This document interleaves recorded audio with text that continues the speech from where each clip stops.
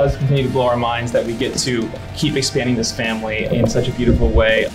It continues to be an amazing privilege and honor for me to work on this musical, and maybe the best written musical I ever get to see.